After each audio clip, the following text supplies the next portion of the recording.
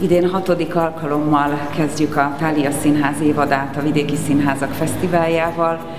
Fantasztikus alkalom ez arra, hogy vendégül láthassunk vidéki társulatokat, és nagyon várja a közönségünk is, illetve a társulatok is, hiszen ez a legjobb évadkezdés, amit az ember elképzelhet színházban dolgozva.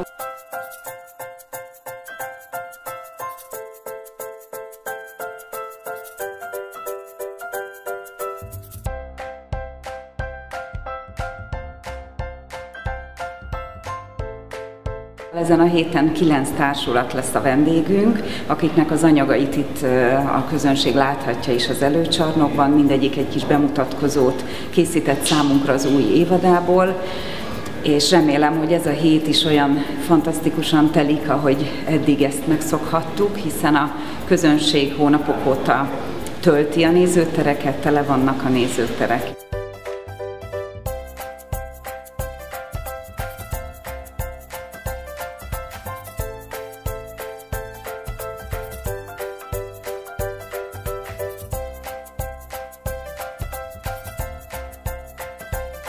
Nagyon köszönöm az érdeklődést, a közönségnek, a szakmának és a társulatoknak a remek előadásokat, amiket hoznak hozzánk.